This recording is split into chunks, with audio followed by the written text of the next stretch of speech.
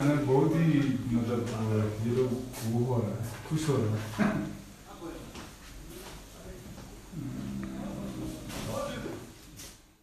So actually from the election commission we already suggested to all our regional uh, election commissioner that uh, whatever the state government as well as uh, from the central uh, there is any kind of a direction from the uh, nation's so to say uh, concerned departments uh, we have to strictly obey to those uh, rules and regulations uh, apart from that if there is any kind of a further standing order from the central Tibetan administration also to be strictly followed.